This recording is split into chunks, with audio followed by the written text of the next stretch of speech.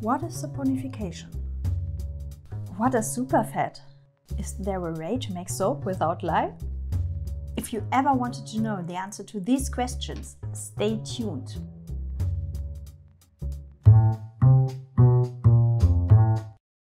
Hello everyone, I am Sue from Sue and Soap and today we will have some soap lessons. So let's start with question number one. What is saponification? For making soap you need two things, oil and lye.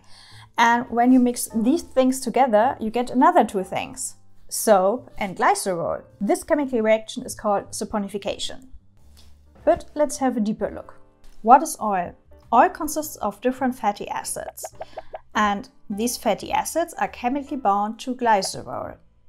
This molecule then is called triglyceride. Next we need a strong base and this can be sodium hydroxide or potassium hydroxide or a mixture of both. When you use sodium hydroxide, you will get a solid soap bar. Potassium hydroxide is used for liquid soap and a mixture of both is great for making shaving soap.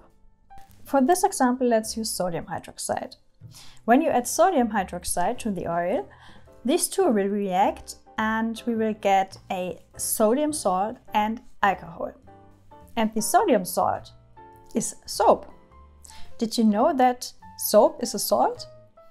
The alcohol which is being built in this reaction is glycerol. And you may know glycerol. This is a very humidifying liquid substance which is often used in cosmetics. And here we have it, the saponification reaction. A fat or oil and a base react to salt and alcohol. But how much sodium hydroxide do we need to make a skin-safe soap? Well, there's something called saponification number, and this number is different for every fat and oil. And with this saponification number, we are able to calculate how much sodium hydroxide or potassium hydroxide we need for a complete reaction. That means if we use the exact amount of sodium hydroxide and oil, we won't have any excess oil or sodium hydroxide in our finished soap. But normally we don't measure so exact that this will happen. Something will always be left, maybe oil or sodium hydroxide. So, what happens if we use too much sodium hydroxide? If we use much more sodium hydroxide, the oil part will be saponified completely, but then we will have excess sodium hydroxide.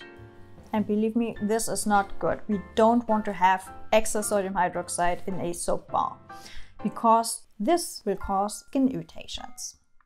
But what if we use less sodium hydroxide? Well, this brings us to the next question. What is superfat? If we use less sodium hydroxide, the sodium hydroxide will be consumed completely and we will have excess unsaponified or partially saponified oil. That means we don't have excess sodium hydroxide in our soap.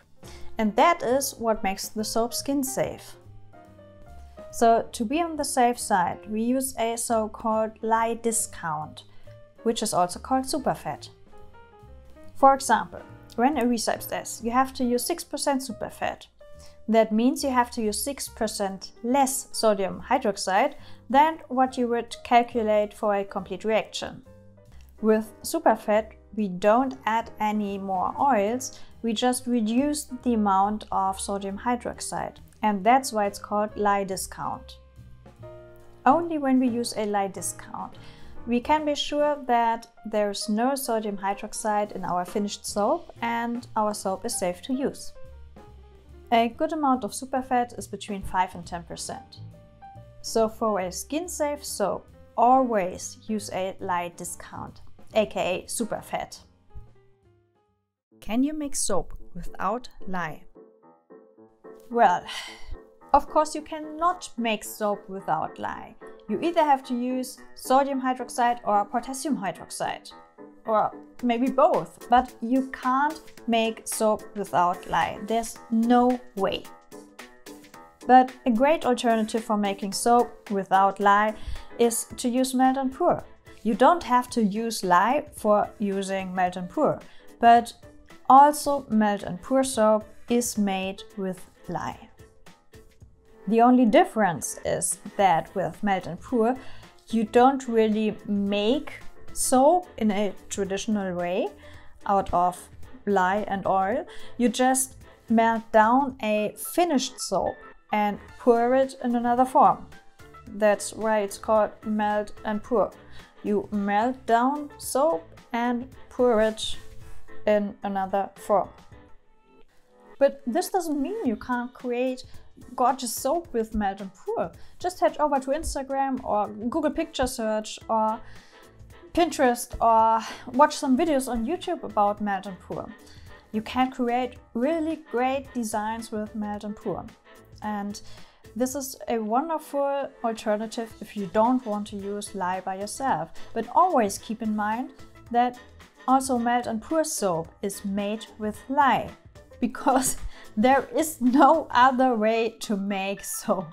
I hope you could learn something today. So what is your favorite way to make soap? Do you prefer cold process or even hot process? Or do you prefer not to use lye by yourself and instead using melt and pour?